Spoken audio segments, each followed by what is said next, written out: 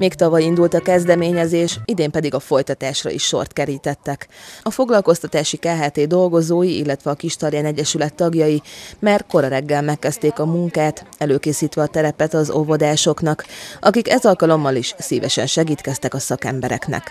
Folytatódott a Kistarján Egyesület felsítási akciója a Mackóver óvoda fölötti zöld területen október 24-én. Tavaly már elkezdtük a fásítást itt az óvoda fölötti területen, amit egyszer reméljük Kistarján Liget néven fog bevonulni a történelembe. Ezt szeretnénk most foly, folytatni.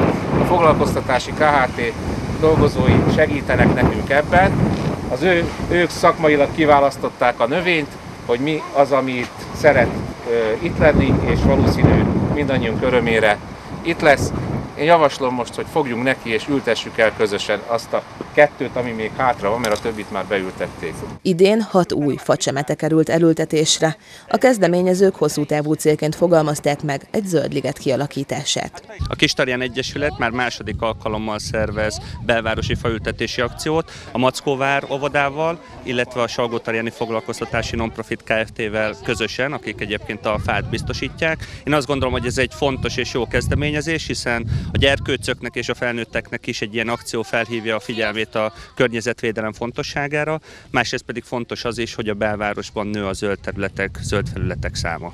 Mindezek mellett a kezdeményezésnek köszönhetően a terület állagmegóvása is megvalósult.